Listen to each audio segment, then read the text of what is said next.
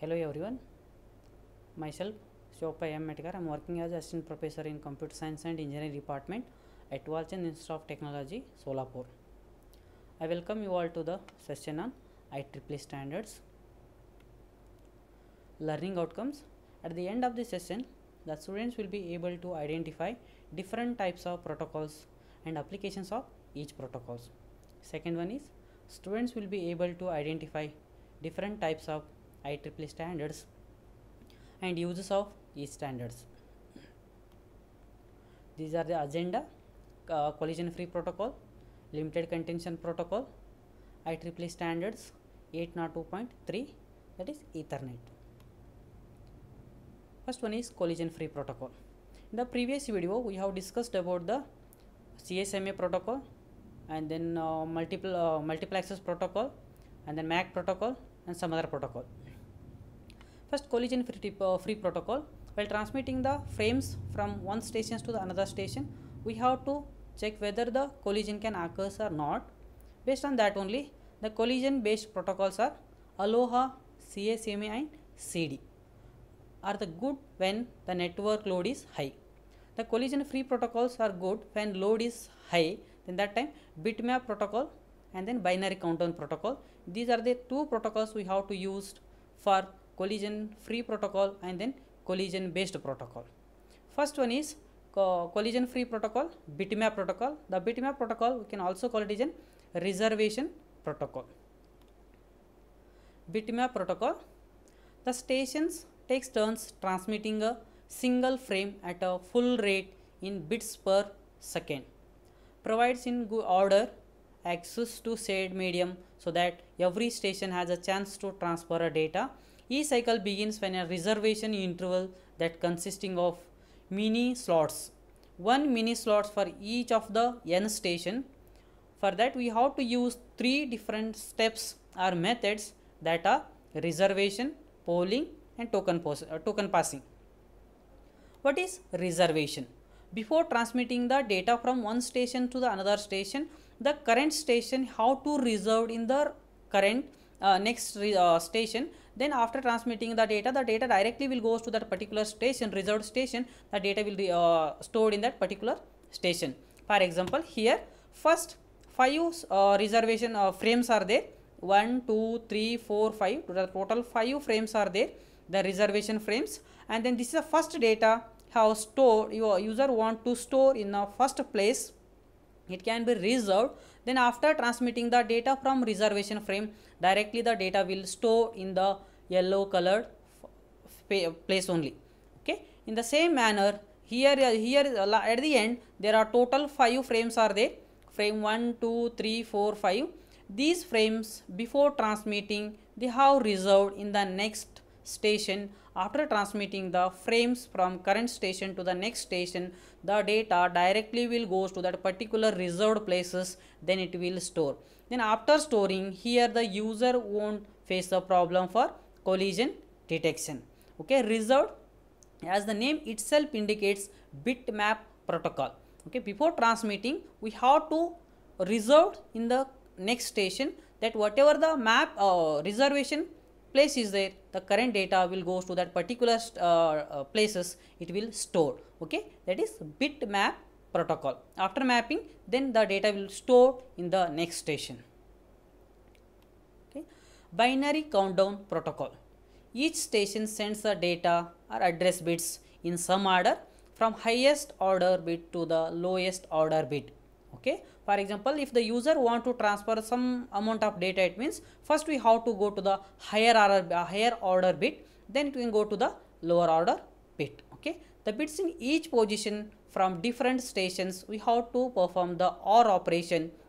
Nodes there are five nodes are there or four nodes are there a b c d and then addresses there are five addresses are there. A address is 0010 b is 0101 c is 1010 d is 1001 and then next one is 1010 in out of these addresses we have to check out which one is the highest priority. Then if it is highest priority then we have to give it off. Then we can go to the next one. For example node c is the highest priority that is 1010 having highest priority then gets transmits. Okay? Then after transmitting c then we can go to the next higher priority then after that we can go to the we have to follow the same procedure for transmitting the addresses. Okay? The problem with this protocol is that the nodes with highest address always wins.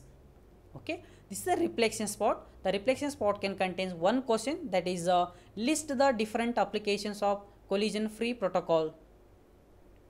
Now pause the video and answer the question for answer for this one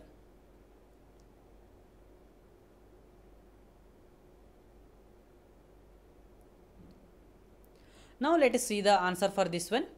The application for uh, bitmap protocol collision free protocol in the reservation places we have to use it is used in satellite communication. Okay.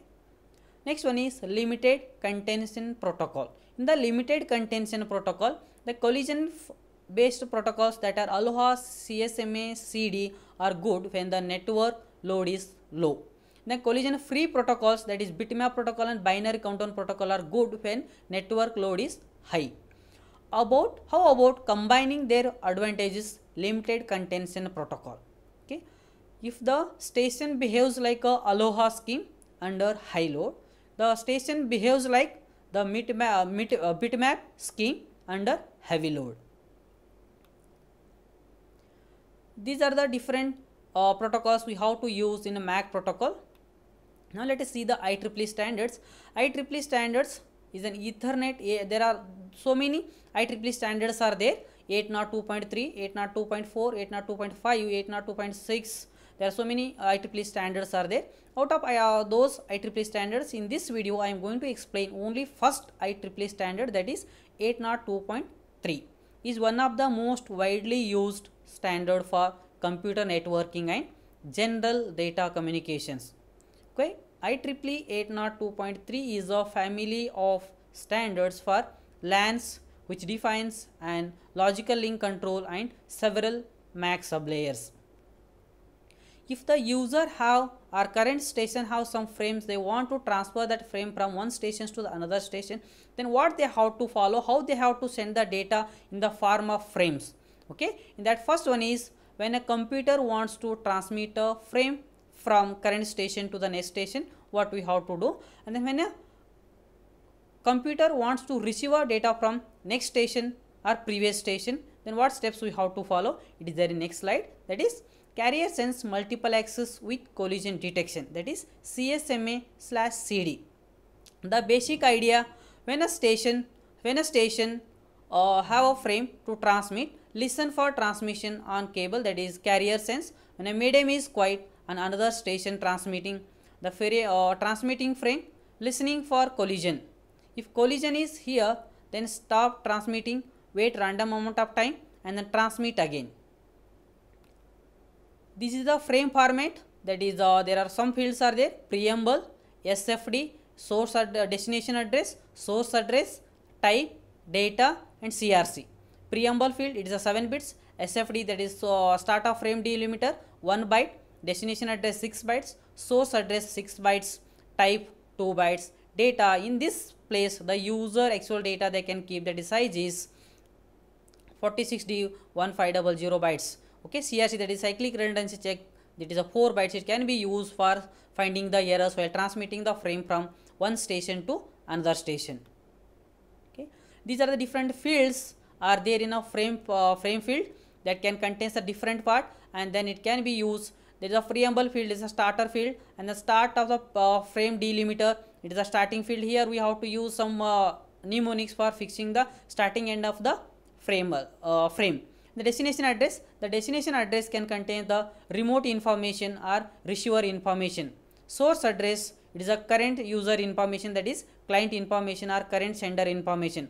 The length of the data that is depends upon the user. This is the actual data they can keep in a frame then that they can transfer the data that is the data what type of data they have to mention before transmitting the data in the form of frame checksum checksum field can be used while transmitting the data if the data is corrupted data is lost or uh, somebody somebody have hacked the data then to find out that information we have to use the checksum part Okay. these are the references I have used for referring this video. Thank you. One nine